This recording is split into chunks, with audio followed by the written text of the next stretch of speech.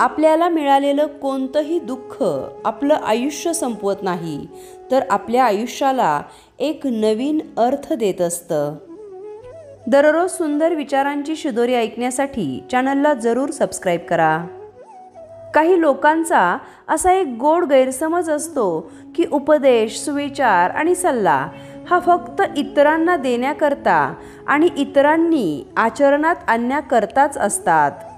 बघा ना आपला एखादा व्हॉट्सॲपचा असा ग्रुप असतो किंवा कोणी पर्सनलीसुद्धा आपल्याला दररोज खूप सुंदर सुंदर विचारांचे मेसेज पाठवत असतात. पण त्यातला एकही विचार स्वतः आचरणात आणत नाहीत. भरून आलेल्या आभाळावर बरसण्याचं नेहमीच बंधन असतं. अगदी तसंच दाटून आलेल्या अश्रूंवर ओघळण्याचंही बंधन असतं. जेव्हा डोळ्यात अश्रू दाटून येतात तेव्हा ते खाली गळालेच पाहिजेत. आपल्या अंगभूत कला न ओळखणारा प्रत्येक जण चोर आहे.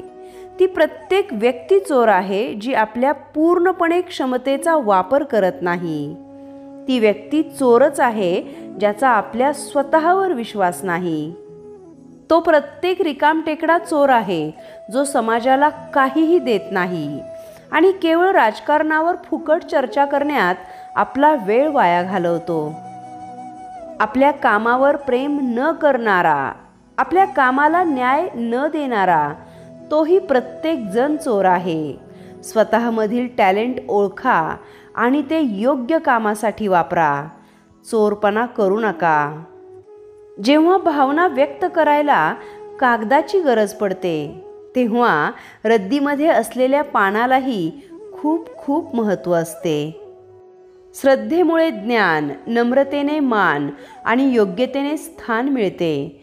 हे तीनही मिळाले तर माणसाला प्रत्येक ठिकाणी सन्मान मिळतो. स्पष्ट बोलून खरी परिस्थिती मांडणाऱ्या व्यक्ती ज्या लोकांना आवडत नाहीत त्याच लोकांना स्पष्ट बोलून दिशाभूल करणाऱ्या व्यक्ती खूप खूप आवडत असतात. जर आपल्याला एखाद्याच्या अंगातील खराब कपड्यांची घाण वाटत असेल तर त्याचवेळी आपल्या डोक्यातील खराब विचारांची सुद्धा आपल्याला घाण वाटली पाहिजे असे विचार काढून टाका. चुकीच्या लोकांच्या नात्यात अडकून उदास राहण्यापेक्षा अनोळखी लोकात राहून आनंदी राहिलेलं कधीही चांगलं. आयुष्य मिळणं हा नशिबाचा भाग मृत्यू येणं हा काळाचा भाग. तर लोकांच्या मनात जिवंत राहणं हा कर्माचा भाग आहे. ध्येयापेक्षा सुंदर काय असेल? तर त्या ध्येयापर्यंत प्रयत्न करताना आपण जगलेले क्षण. मुक्कामापेक्षाही प्रवास खूप सुंदर असतो. तुम्ही ध्येयापर्यंत पोहोचाच. परंतु उद्या जर तुम्हाला तुमच्या ध्येयाची कोणाला कहाणी सांगायची असेल तर रस्त्यामध्ये जे काही तुम्ही अनुभवलंय ते खूप महत्त्वाचं असतं आणि तुम्हाला खूप मोठं करणारं असतं. जगाची नजर तुमच्याविषयी कधीच स्थिर नसेल. त्यामुळे स्वतःच्या नजरेत मोठे व्हा. जगाचं काय घेऊन बसलाय? जग तर देवालाही नावं ठेवतं. तुम्ही तर माणसं आहात. मनाला चांगल्या विचारांचं कव्हर असेल तर माणूस नावाचं पुस्तक नेहमी सुंदरच असेल. देखणेपणाला वय अजिबात नसतं. कोणत्याही वयात तुमचा देखणेपणा उठून दिसतो. कोणी चेहऱ्याने सुंदर असतो तर कोणी मनाने सुंदर असतो. बंधनांनी जोडता आलं नाही तरी काही माणसं स्पंदनांनी आपल्यासोबत कायमची जोडली जातात. काही माणसं जरी आपली झाली नाहीत तरी ती मनाने सदैव आपल्याजवळ असतात.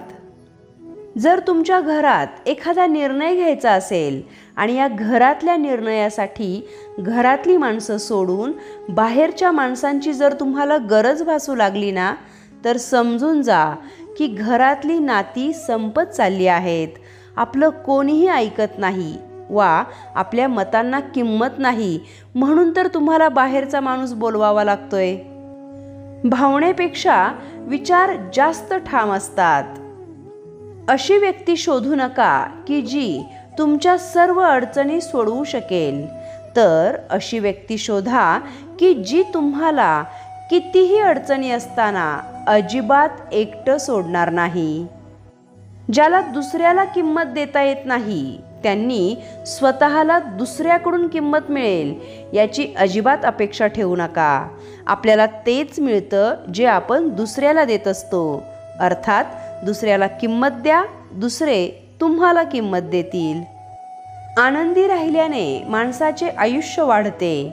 आपल्या आनंदामुळे इतरांचे आयुष्य आनंदी होते.